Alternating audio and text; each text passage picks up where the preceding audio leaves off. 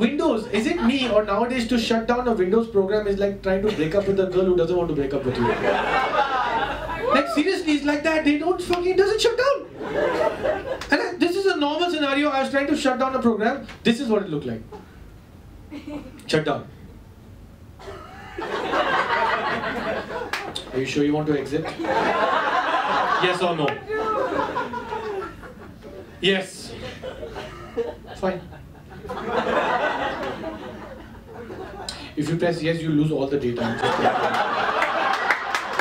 You want, to, you want to exit yes or no? Yes. Fine, you know. Do you want to keep some files running in case you want to come back? Because I'll be right here. Yes or no? Yes! You know what? Fine. Fuck off. You know what?